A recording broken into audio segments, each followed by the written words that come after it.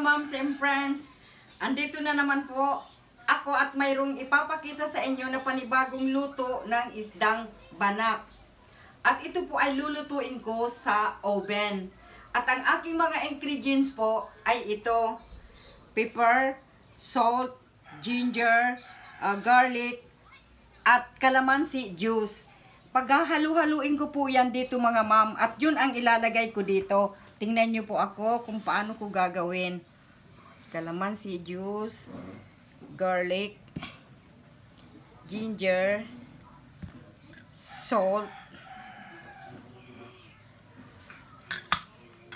at pepper.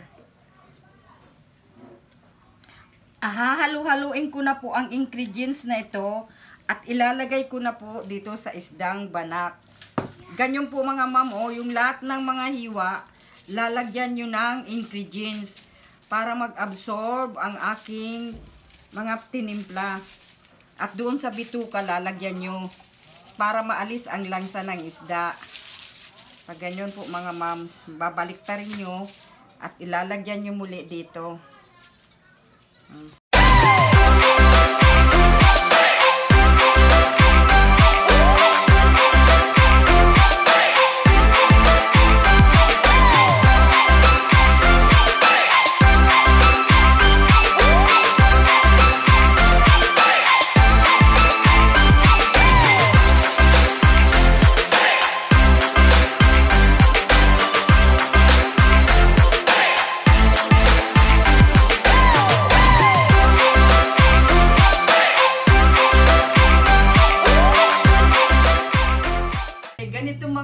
Pagsil.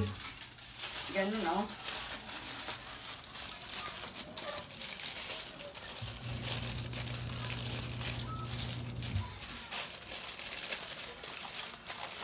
Ganito na siya, oh.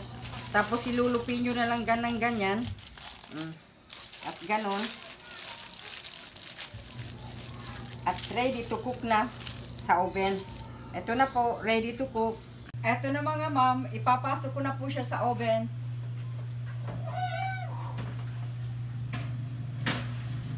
Mga isang oras po. Eto na mga friends, tapos na po ang linuto ko sa oven. At tingnan nyo, napakasarap, napakaganda po ng fish oh. Mukhang sariwang sariwa siya. At napakasarap ng amoy. Lalong-lalo na yung kalamansi at bawang nagmix yung lahat ng ingredients. Napakasarap. Sana po ay gawin nyo para matikman nyo ang luto kong ito at magugustuhan nyo. Maraming maraming salamat po.